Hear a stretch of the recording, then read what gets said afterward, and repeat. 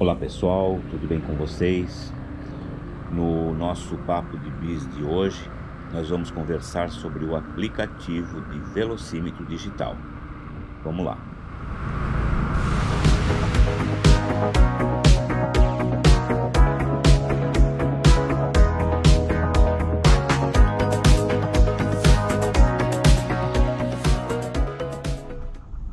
Se vocês prestarem atenção nos meus vídeos, no momento em que eu ligo a câmera para gravar um vídeo na estrada, a minha cabeça fica estabilizada e alinhada com o horizonte. Eu não fico mexendo a cabeça, olhando para o espelho direito, para o espelho esquerdo a toda hora. Eu tenho um truque para isso que eu vou mostrar para vocês em outro vídeo sobre dicas da GoPro. Só que em algumas gravações em que eu precisava manter uma determinada velocidade constante, eu era obrigado a abaixar a cabeça para olhar o velocímetro, porque o banco da bis é, é alto, o guidão é baixo e ainda tem a câmera na queixeira do capacete que atrapalha o campo de visão para o painel da moto. Essa imagem que vocês estão vendo agora não é a imagem que eu vejo de dentro do capacete e sim a imagem da câmera com campo de visão configurado para Super View, que amplia o campo de visão da câmera. A solução que eu encontrei foi um aplicativo que simula um painel digital, extraindo as informações do GPS do celular, e eu consigo olhar o velocímetro só com o canto do olho, sem precisar mexer a cabeça. Como a velocidade que o aplicativo mostra é a do GPS, eu percebi que existia uma diferença enorme de aferição do velocímetro da BIS. Eu vou colocar na tela uma tabela para compartilhar com vocês. É só dar um pause no vídeo. Ainda sobre o aplicativo, eu baixei, testei mais de 20 tipos e acabei escolhendo esse que eu vou mostrar para vocês, que é o que eu mais gostei. Tem as funções mais intuitivas, funciona muito bem e tem uma visualização das informações bem bacana. Eu também procurei um aplicativo que inclui essa informação de altitude, que é uma informação bacana para quem viaja para a Serra Catarinense, mas nenhum deles mostrava essa informação. Então, agora eu vou mostrar no meu celular qual é o aplicativo e as principais funções. Vamos lá. A primeira coisa que a gente vai fazer é instalar o aplicativo. Então, como é que a gente vai fazer? A gente vai lá no Play Store pesquisar, a gente vai digitar velocímetro digital. Ok? E vai procurar o número 43. Todos esses aqui eu já instalei, já testei. E o melhor é o número 43. Vamos lá, vamos descer. Número 43, esse aqui. Tá aqui, clicar em instalar e deixar ele instalar.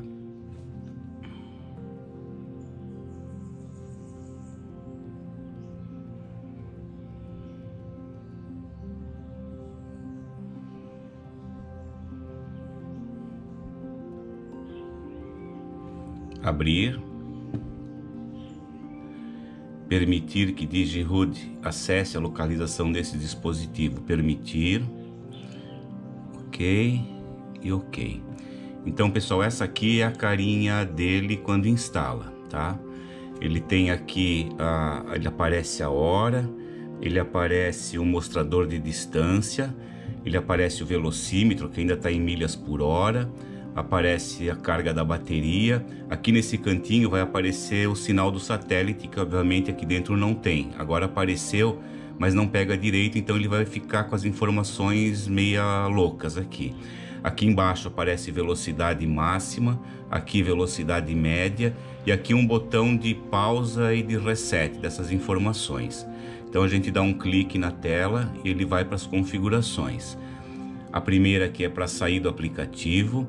Windows Background, se você quer definir como papel de parede do celular, não é o caso.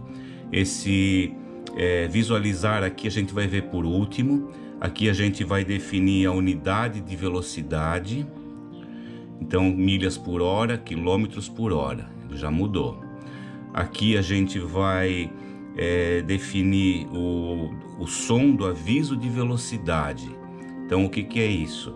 Os valores de velocidade ficarão vermelhos acima dessa velocidade. Então aqui eu vou definir um, um 80 aqui por hora, só como exemplo, 00, e vou habilitar, ok? E vou habilitar o som.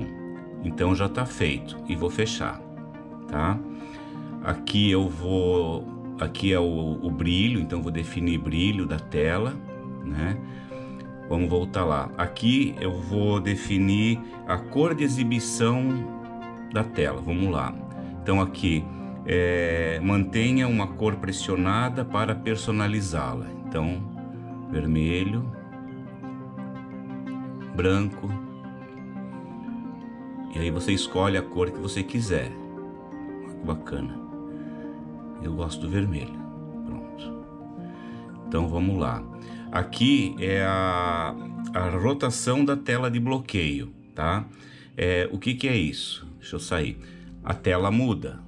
Se você girar o celular na horizontal, com as mesmas informações, eu gosto de usar assim na moto, e na vertical. Se você clicar em, em rotação de em bloquear a rotação da tela, ele não vai mais mudar, ele vai ficar fixo.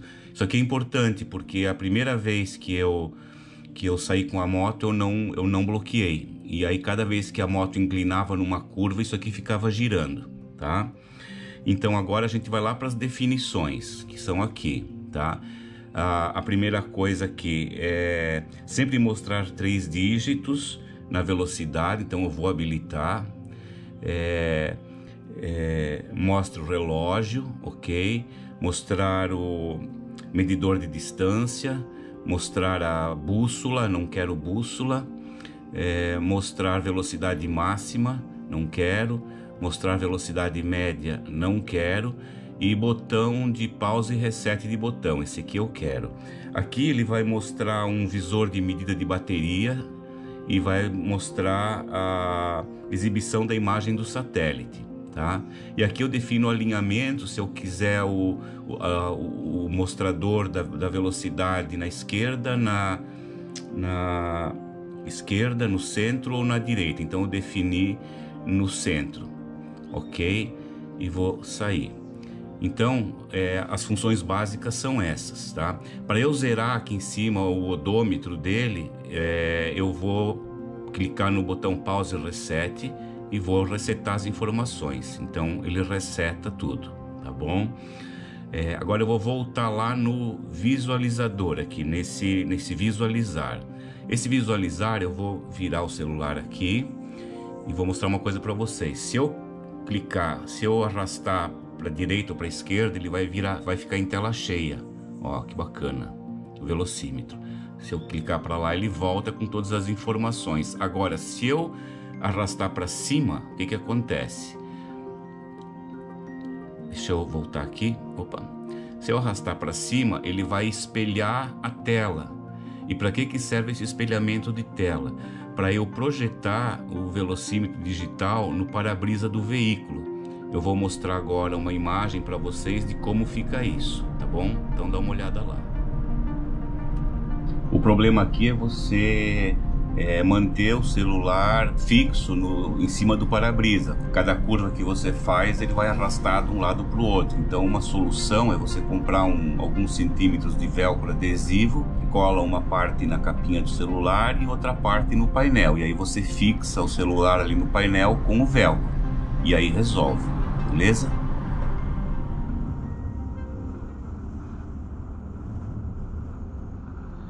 Esse celular que vocês estão vendo na imagem é um Galaxy S3 antigo que estava descartado, mas funcionando muito bem. Eu só coloquei na internet para baixar o aplicativo e habilitei o GPS e assim ele está funcionando até hoje.